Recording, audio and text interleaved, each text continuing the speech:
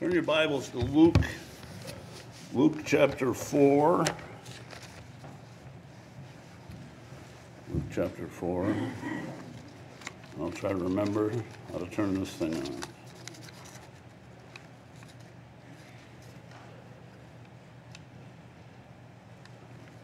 I got it, Jerry? Good.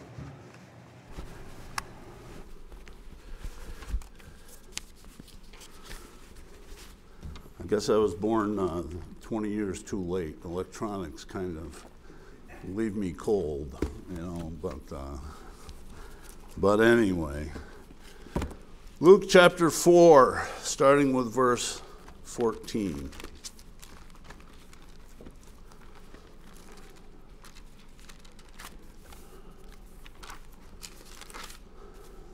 This is the passage. This is actually right after Jesus came down, um, got back from being tempted by the devil. Um, and verse 13 says, And when the devil had when, when the devil had ended all the temptation, he departed from him for a season. And Jesus returned in the power of the Spirit into Galilee, and there went out a fame of him through all the region round about. And he taught in their synagogues, being glorified of all. You know, it's interesting that after he after he resisted the temptation of the devil, he was filled with the Spirit. And sometimes when we're tempted and we give in to it, we forget that if we had resisted the temptation, then we'd have some power of God. And um, that's not the message, but it's, it's just an observation. It's just an observation. Uh, starting with verse 14, verse 15, he taught in the synagogue. Verse 16 is where our passage begins. And he came to Nazareth, where he had brought, where he had been brought up. As his custom was, he went into the synagogue on the Sabbath day and stood up to read on a Sabbath day. He, and to stop here again, you know, Jesus is our perfect example. Jesus, as his custom was, went in the synagogue on the Sabbath day. He found it important to worship because that's what Jews did. Jews went to the synagogue. Uh, the Bible says, in, um, Forsake not the assembling of yourselves together, as the manner of some is, but so much the more as you see the day approaching. Jesus could have said, The synagogues are corrupt, which they were. The Pharisees and Sadducees are corrupt, which they were. He could have said, They can't teach me anything, right? because he is the Word of God, and uh, they couldn't really teach him anything, but that wasn't his attitude. But that's not the message either. Uh, verse 17 And there was delivered unto him the book of the prophet Isaiah. And when he had opened the book, he found the place where it was written, The Spirit of the Lord is upon me, because he hath anointed me to preach the gospel to the poor. He hath sent me to heal the brokenhearted, to preach deliverance to the captives, and recovering of sight to the blind, to set at liberty them that are bruised, to preach the acceptable year of the Lord. And he closed, and he closed the book, and he gave it again to the minister, and sat down. And the eyes of all them that were in the synagogue were fastened on him. Let's pray. Father, thank you for your blessings, God. Thank you for your word. God, thank you for uh, giving us a Bible that we can trust, God, for giving us the truth. God, our, wor- our world is full of lies. God, we, we don't know what to believe so many times, but we know every time we open this book that we can believe every word of it. And God, we're so thankful for that. We're so thankful for absolute truth that comes from the scripture. And God, I pray that you'd be with this message this morning, God. Please, please help folks, God, to see you. Help them not to see me. And God, I uh, don't really care what people think of me when this is done, but God, if they think a lot of you and they think a lot of the Lord Jesus Christ, then something has been accomplished this morning. I pray that you'd be with anybody that might be here that doesn't know you as their Savior, that you'd help them to see that, that uh, there is a Savior, God, that went to the cross and died on the cross for their sins and is willing to accept anybody that comes to them by repentance and faith. I pray that you'd be with those that might be listening uh, over the internet or however, uh, whatever medium they're listening in, God, that you might be with them and touch their hearts. Be with us, God, that know you as our Savior, God, that we'd be reminded of things that we need to be doing and be reminding of, of, of the Savior, God, that we need to be um, paying attention to. Be with us now, God. Help us, uh, help us, God, to draw close to you. In Jesus' name, amen. You know, there's, there's a myriad of things our eyes can see. There's tons of things your eyes can see in the course of a day. Um, the most, most Americans, digital, digital marketing experts estimate that most Americans are exposed to 4,000 to 10,000 advertisements each day. 4,000 to 10,000 advertisements each day. The, the uh, average person gets distracted in eight seconds, though. The average person gets distracted in eight seconds. 84% of communication is visual. The human eye can see 60 frames per second. 60 frames per second. So there's lots of stuff that's passing us constantly, passing us constantly. You know, the Bible has many warnings about what we see. Job 31:1 says, I made a covenant with my eyes. Why then should I think upon a maid? Psalm 101:3 says, I will set no wicked thing before my eyes. I hate the work of them that turn aside. It shall not cleave unto me. Matthew 5:28 but I say unto you that whosoever looketh upon a woman to lust after her hath committed adultery with her already in his heart. And we're reminded in Psalm 15, in Proverbs 15:3, the eyes of the Lord are in every place, beholding the evil and the good. Well, today we're going to focus on somebody we should be looking at. Somebody we should be looking at. Go back to your passage in, in Luke chapter 4, and he closed the book and the eyes of all them that were in the synagogue were fastened on them, were fastened on him. We should, the, the gist of the message of today is fastening your eyes on Jesus. Fastening your eyes on Jesus. We should be looking at Jesus every day. We should be looking at him in different parts in our lives. If you're here and you're not saved, you need to look to Jesus. Jesus died on the cross for your sins. Jesus paid the ultimate price. Jesus did everything. All you have to do is look at your sin and say, God, I'm a sinner. I can't, I need to turn from that sin and turn to Jesus. But we need to look at Jesus. You know, there's so many times we don't look at Jesus, we don't look at him. I've, I've, uh, years ago, I was with people that were witnessing to people, and telling people how to be saved, and not one time did the word Jesus come out of their mouth. Well, what's Christianity about? Christianity is about Jesus Christ. And so many times we forget that. It's all about Jesus. It's all about Jesus and what he did for us. We should focus on Jesus. Um, George Mueller said this There were few people, perhaps, more passionately fond of traveling and seeing fresh places and new scenes than myself. But now, since the grace of God, I have seen beauty in the Lord Jesus, I've lost my taste for those things. I've lost my taste for those things. He said, Jesus is more important than seeing things. Now, you're wrong if you go and see the Grand Canyon. No. But Jesus is more important than that. And, uh, and we need to remember that. We need to remember that. And I'm trying to figure out where the high speed on this fan is. Uh, there we go. There's a fan behind the pulpit for good reason. For good reason. And um, believe me, it's a little bit warmer up here. But that's okay. So, what should the results be if we fasten on Jesus? The first thing is, if our eyes are fastened on him, we'll hear what he has to say. That seems kind of crazy, but we'll, it seems like a, you know, what do they say? Like, duh, of course. But if our eyes are fastened on Him, we'll hear what He has to say. You know, if you're looking at somebody, and we all have to work on this sometime, when you're looking at somebody, you'll listen to them better. If, if, you look, if somebody's talking to you and you're looking over here, then you're not listening. You're not listening. Um, years ago, I worked for 84 Lumber, and they, they, at the time they were hiring a whole bunch of people, and, and uh, we would try to guess who the area manager would hire if somebody walked in.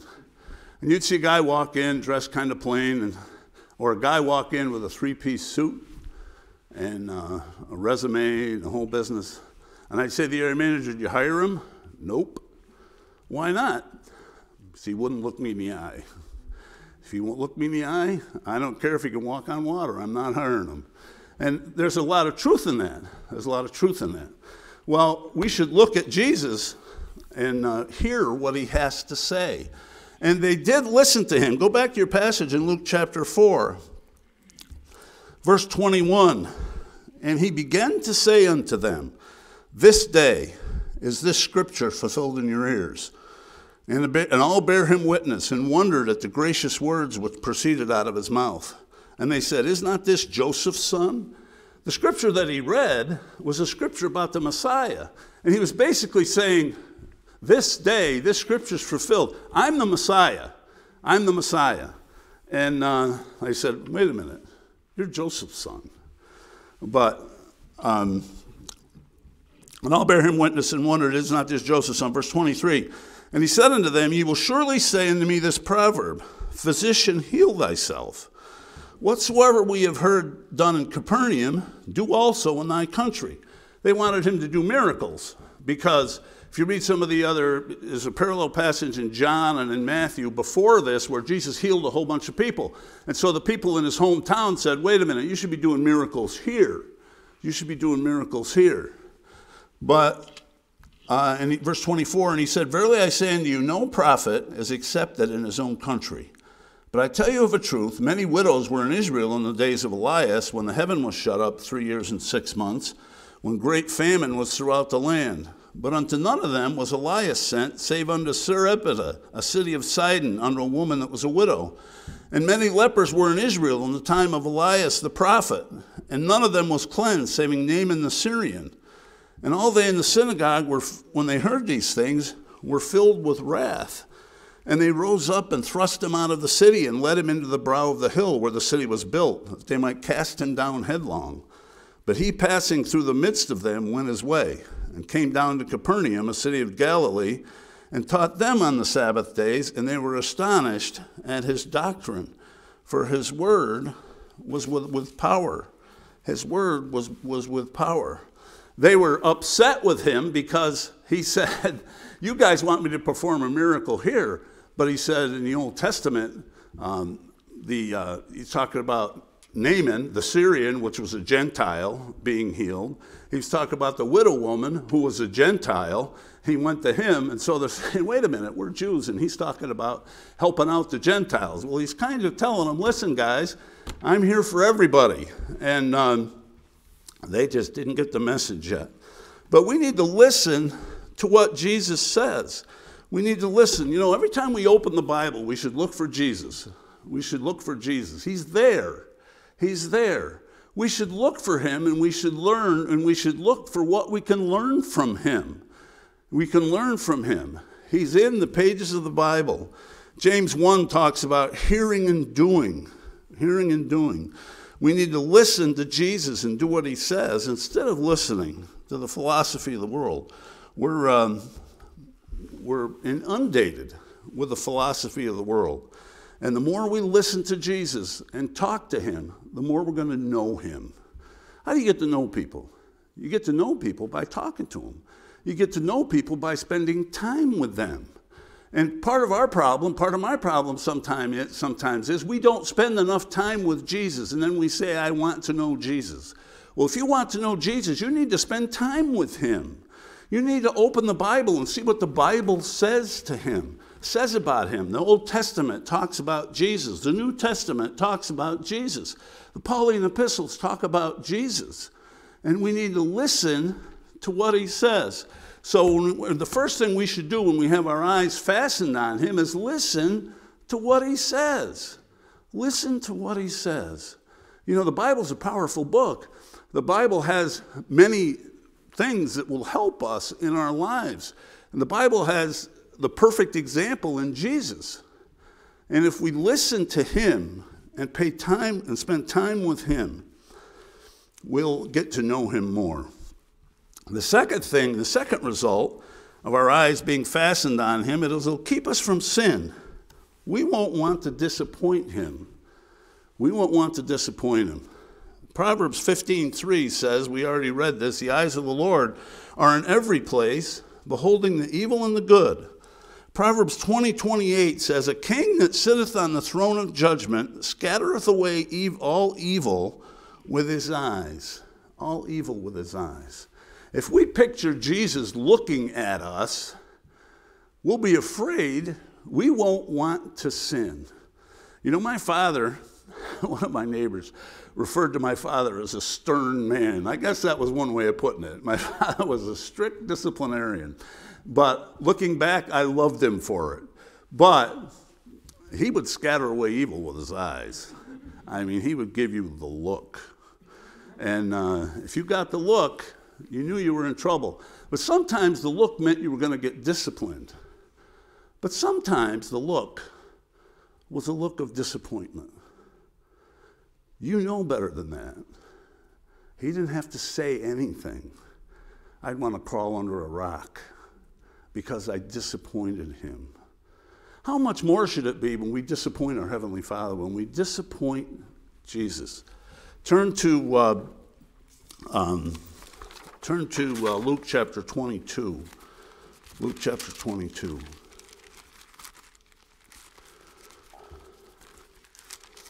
Luke chapter 22 is the passage where Peter denies Jesus Christ. And if you go down to uh, look at verse 54 and they took him and led him and brought him into the high priest's house. And Peter followed afar off. And when they had kindled the fire in the midst of the hall and were set down together, Peter sat down among them. But a certain maid beheld him as he sat by the fire and earnestly looked upon him. This man was also with him. And he denied him, saying, Woman, I know him not. And a little while another saw him and said, Thou art also of them. And Peter said, Man, I am not. And about the space of one hour after another confidently affirmed, saying, Of a truth, this fellow also was with him, for he is a Galilean. And Peter, and Peter said, Man, I know not what thou sayest. And immediately, while he yet spake, the cock crew. And the Lord turned and looked upon Peter. And Peter remembered. We'll stop there. Peter remembered. The Lord turned and looked upon Peter. Can you imagine that look? It says, No wonder Peter went out and wept bitterly. Uh, the look of disappointment, the look of disappointment. If our eyes are fastened on Jesus, we won't want to disappoint him. We disappoint him. We fall into sin when our eyes are off Jesus. When we, we think, oh, I could just casually walk through life and not think about the consequences of my actions. I used to go to college with some kids that, I'm not looking back, I'm not even sure they were saved. They'd say, oh, I can do wrong because all I have to do is confess it. Well, wait a minute. Uh, what about disappointing Jesus? What about not living up? He died on the cross for us. And when we sin, we're so casual about it. Turn to uh, 1 Samuel chapter 12. I noticed this. You know, one thing, one thing we need to do, we need to realize as we, we read the Bible and look for Jesus, you know, we need to keep looking. You know, sometimes I've been reading my Bible for 50 to 60 years. And there are some things in my Bible that I've just seen in the last six months because I kept reading. Well, we need to keep looking. But 1 Samuel, 1 Samuel chapter 12, um, oh, 1 Samuel No, this is not it. I'm sorry. Hang on a second. How about 2 Samuel 12? 2 Samuel 12.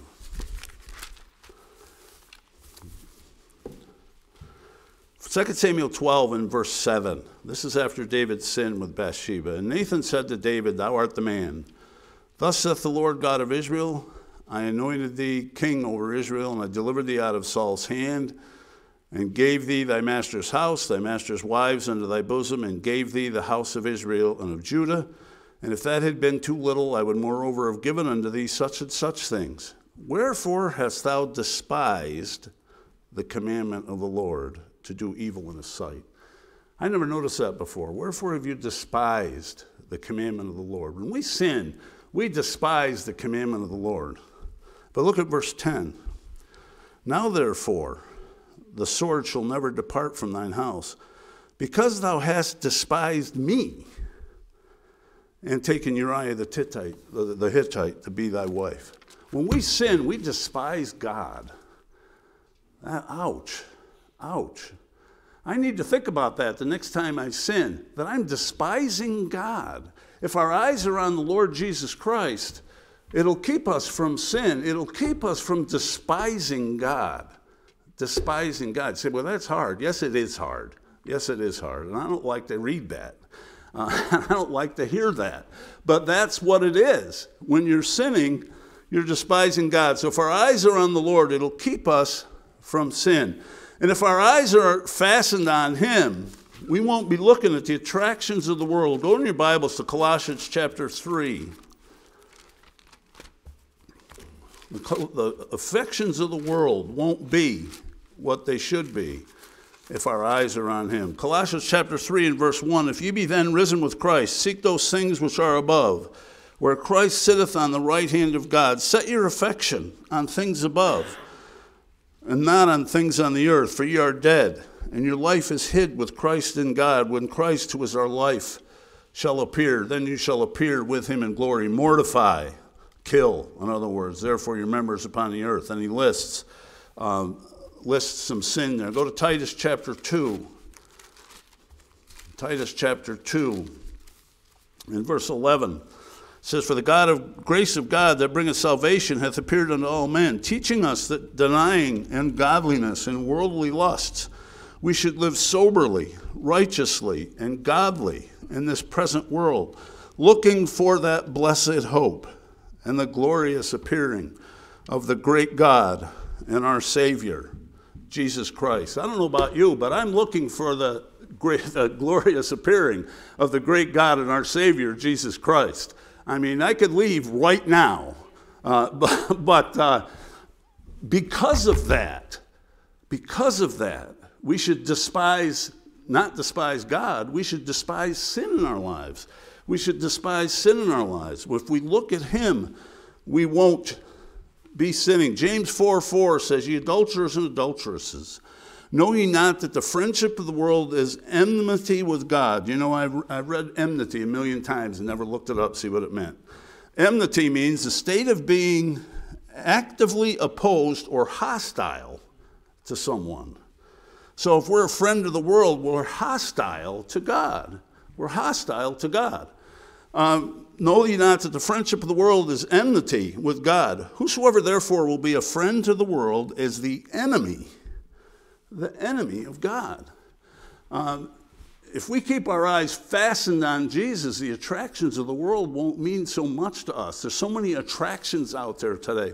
There's so many things in front of you today. Uh, when I was a kid, you had to work a little harder to sin than you do now. You don't have to work very hard to see bad stuff today. Not very hard at all. I pray. I do. I pray for everybody in this church every day. I pray for the teenagers. I pray for the young men. I pray that they won't see stuff that they shouldn't see because the attractions of the world are out there. Because I know what this 67 year old guy wants to look at the attractions of the world. And so, we don't, if when we get away from God and our eyes aren't on Him, that's when we become an enemy of God. 1 John chapter 2, verse 15 says, The world passes away, and the lust thereof. But whosoever doeth the will of God abideth forever. You know, Lot's wife couldn't take her eyes off the world, and it destroyed her. It destroyed her. She became a pillar of salt. You know, the world doesn't last, but a relationship with Jesus lasts. A relationship with Jesus lasts. Uh, go to Psalms Psalms 27. Psalm 27 and verse 4. Psalm 27 and verse 4. The psalm starts out, The Lord is my light and my salvation. Whom should I fear? But one thing, verse 4 says, One thing have I desired of the Lord, that will I seek after, that I may dwell in the house of the Lord all the days of my life, to behold the beauty of the Lord and to inquire in his temple. When we picture in our minds who Jesus Christ is and what he's done for us, it will help keep us from sin. It'll keep our eyes focused on him, our eyes focused on him. You know, uh, Pastor Carpenter is beholding the beauty of the Lord in his temple. Wish it was me. I wish it was me. I, mean, I don't have a death wish or anything, but, uh, we, but I can guarantee you one thing 30 years from now, I'm going to be there because I don't think I'm going to live to be 97. So, uh, but anyway, um, behold, if we keep that in our mind, we'll know that. Moving right along here, if our eyes are fastened on Him, we'll see His compassion. We'll see His compassion. Matthew, go to Matthew chapter 9. Matthew chapter 9.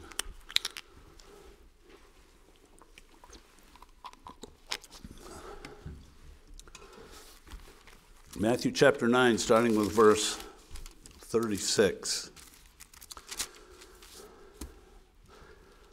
But when he saw the multitudes, he was moved with compassion on them, because they fainted and were scattered abroad, as sheep having no shepherd. Then said he unto his disciples, The harvest truly is plenteous, but the laborers are few. Pray ye therefore the Lord of the harvest, that he will send forth laborers into his harvest. When he saw the multitudes, he was moved with compassion. If our eyes are fastened on Jesus, we'll be compassionate like he is compassionate. You know, we think about, there's a lot of people in this world I don't like. Uh, uh, I don't like people that are pro abortion. I don't like them. Our new governor just made a big speech about how that's going to be one of the hallmarks of her governorship. She wants to she had a speech at Planned Parenthood yesterday, and she wants to push the abortion push across the country. Well, I hope she fails. I don't like her, but I don't want her to go to hell. I don't want her to go a place where she's never going to get out. I don't want that. I should have compassion on that. I don't have compassion on one abortion doctor in the country. I don't. But they need to be saved. They need to be saved. And we need to remember that when he says, when Jesus saw the multitudes, he was moved with compassion on them. You know, there was a lot of bad people in Jerusalem. You had Pharisees and Sadducees and all the people that hated Jesus. But what did Jesus say? Jerusalem, Jerusalem, thou that killest the prophets and stonest all those that come unto thee, how often would I have gathered thee together as a mother hen her chickens, but ye would not. He had compassion on them, even though they hated him. They hated him. We should have, if we have our eyes fastened on Jesus, we'll have compassion on the world. We'll have compassion on the world. And how do we do that? Verse 38 Pray therefore the Lord of the harvest that he will send forth laborers into his harvest. We need to pray for that every day.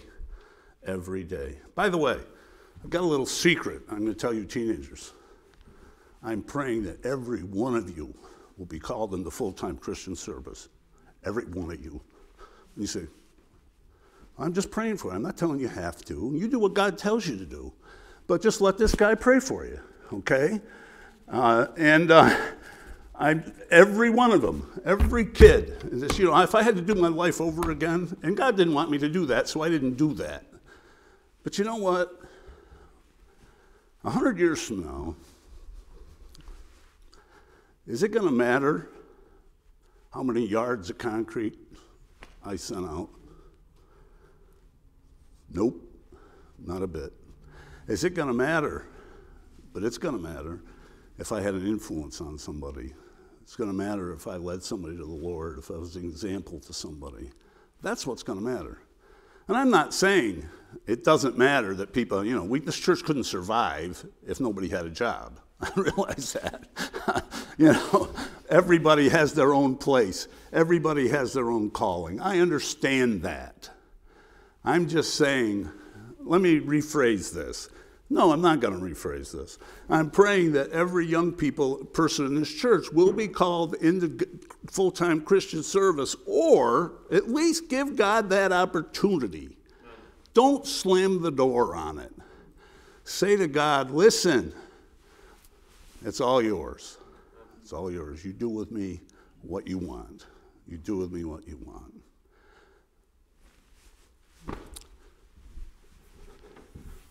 But that's compassion, the compassion we should have on the world, compassion we should have for our neighbors.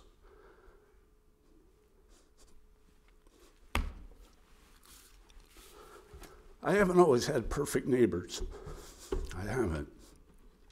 I've got a neighbor now that could be the remake of Sanford and Son.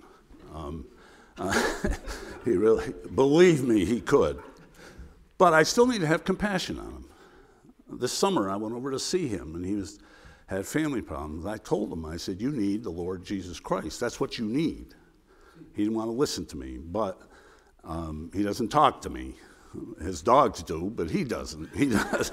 but but uh, but uh, but we should still have compassion on people. You know what? We get so caught up with day to day life. I'm sure some of you work with people that are jerks. Okay, to be frank, there's lots of jerks to go around. There is no shortage of jerks in this world. There really isn't. There's plenty. But you know what? You're saved. If you're saved, you're on your way to heaven. 50 years from now, they could call, you know, they could call you anything today. They could be mean to you today. They could be mean to me today. They could treat me wrong today. 50 years from now, I'm going to be in the presence of God. Where are they going to be if they don't get saved? Where are they going to be? And sometimes, and I have been there, I've come home from work and complained to my wife. I said, well, I can feel like choking that guy. He's just giving me a hard time. Well, where's he going to be 50 years from now? When he saw the multitudes, he was moved with compassion on them because there was a sheep having no shepherd. You know, in 1 Peter it says, when he was reviled, he reviled not again. He reviled not again.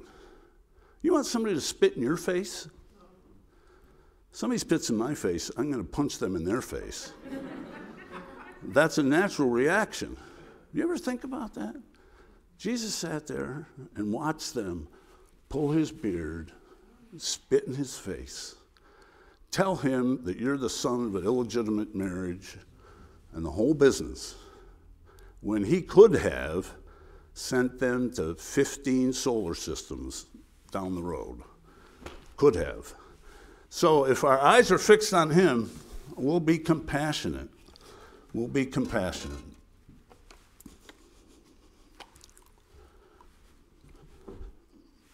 Touch something in there. It sounds electronic. I don't think there's anything in there.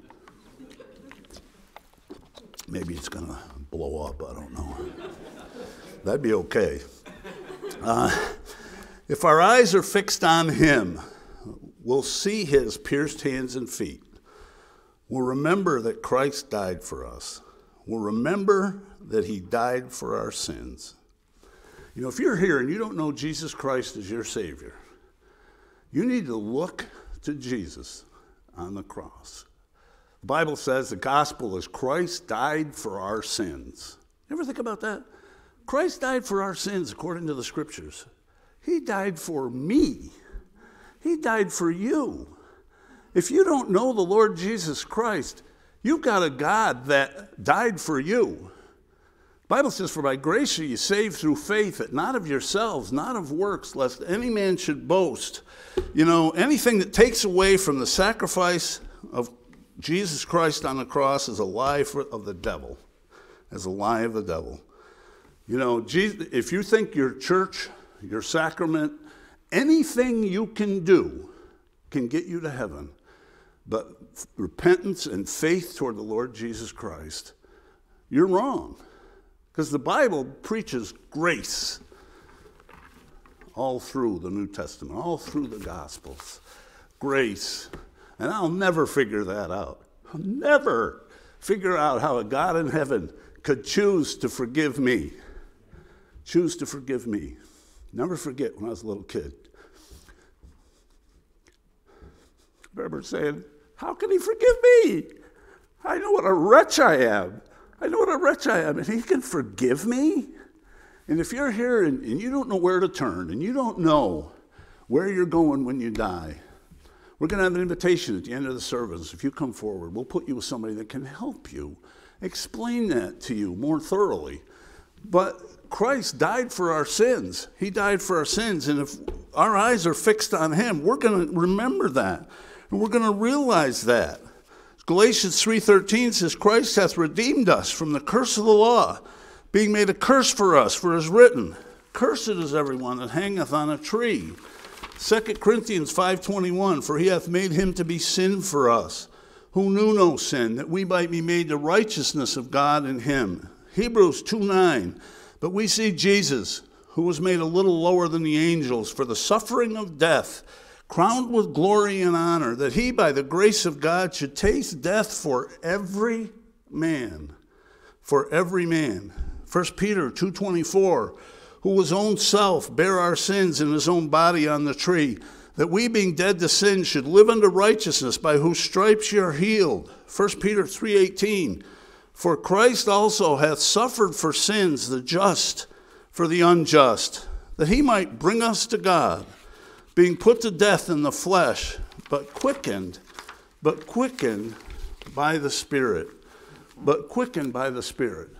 We need, Jesus Christ died on the cross for our sins.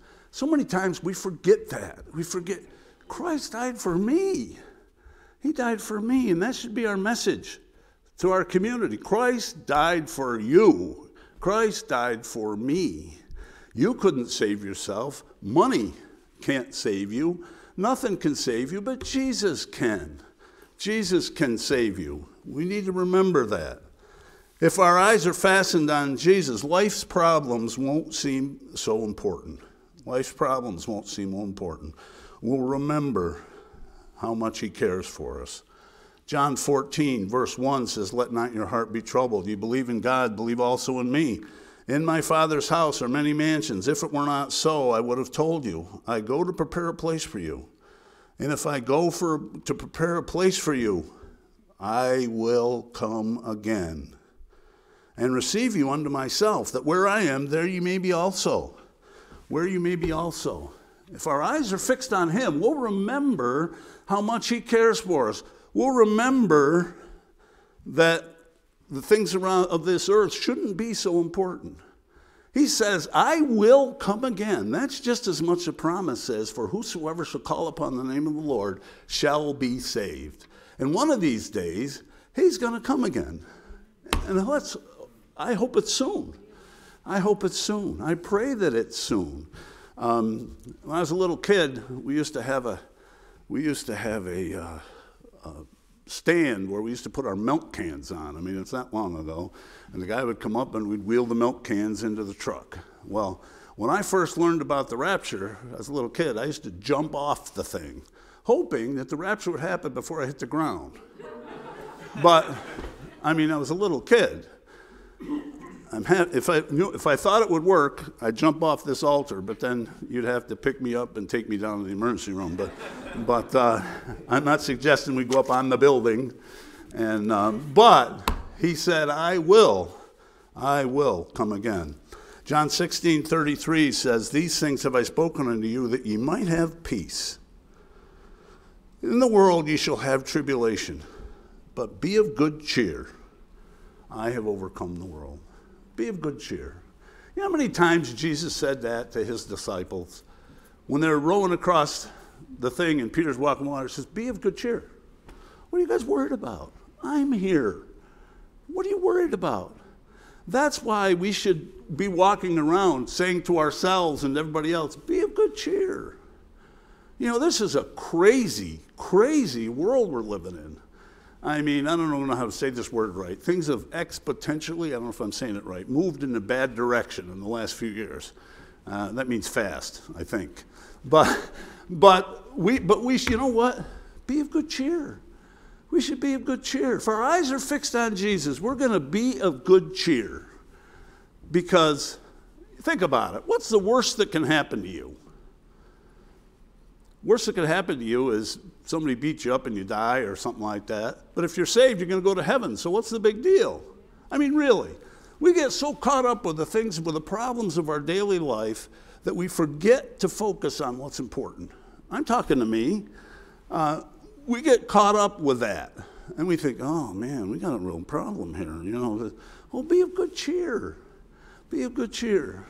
And uh, because if we have Jesus, we should be of good cheer. If you don't have Jesus, you don't have a lot to be happy about because you don't have a Savior. Your eternal destiny is not secure. But if you have Jesus, it says, be of good cheer. 2 Thessalonians 2 16 to 19, 16 to 17. Now our Lord Jesus Christ Himself and God, even our Father, which hath loved us and given us everlasting consolation and good hope through grace, comfort your hearts, establish you in every good work. If our eyes are fastened on Him, we'll see how He handled things for you see how he handled things. 1 Peter chapter 2, for even hereunto were you called, because Christ also suffered for us, leaving us an example that ye should follow his steps, who did no sin, neither was guile found in his mouth, who when he was reviled, reviled not again. When he suffered, he threatened not, but commended himself unto him that judgeth righteously. Um, you know, you look at the example of Jesus. If our eyes are fixed on him, we'll see how he handled things. Philippians chapter 2 says, Let this mind be in you, which was also in Christ Jesus, who being in the form of God, thought it not robbery to be equal with God, but took himself of no, made himself of no reputation, and took upon him the, the form of a servant. And being found in the fashion as a man, and I may not be quoting it exactly right, um, became obedient unto death, even the death of the cross, wherefore God hath highly exalted him and given him a name above every name, that at the name of Jesus every knee shall bow and every tongue shall confess. But what's the first part of that chapter say? Let this mind be in you in Christ Jesus, who made himself a servant. What did John do to the disciples before the cross? He got on his knees and he washed their feet. He's the Lord of the universe and he's washing their feet. We should learn from his example. If our eyes are fixed on him, we're going to try to be like him, be like him. If we fasten our eyes on him, we won't be able to turn away. We won't be able to turn away. You know, we, we think of going to heaven and seeing all the golden streets and all those things. I don't know. For a few thousand years, I want to look at Jesus. I want to look at Jesus. Um, there's something about looking at somebody's face. And you know, there's people that I've, have lost over the years that I, I, I, I want to see them again. But you know what? I want to see Jesus more. I want to see Jesus more. You know, in Isaiah 34, verse 17, it says, Thine eyes shall see the king in his beauty. Thou shalt behold a land that is very far off. If our eyes are really fixed on Jesus, we won't want to look at anything else. We won't want to look at anything else. We won't want to look at anybody else. That doesn't mean you can't have friends, you can't have family. You know what I mean. Our focus should be on the Lord because if it is, then all this stuff, this stuff, that we deal with in this life won't be as important as we think they are. It won't be. If you're, you know, if you're lost, you need to fasten your eyes on Jesus, not your works, not anything else. Jesus said, I am the way, the truth, and the life. No man cometh unto the Father but by me. Try to find Jesus in the Bible. Seek to stay away from sin. How much has the world got you? How much has the world got you? How much compassion do you have? Remember what He's done for you. Maybe you just need to rededicate yourself to having a love for the Lord Jesus Christ, to paying attention to Jesus and who He is and what He's done, learning from His example. If you're lost, you need to come to Jesus Christ. Him that cometh unto me, I will in no wise cast out. Why don't we stand to our feet? and uh, we'll have a word of prayer. We'll have an invitation. Uh, I'd like to have every head bowed and every eye closed. If uh,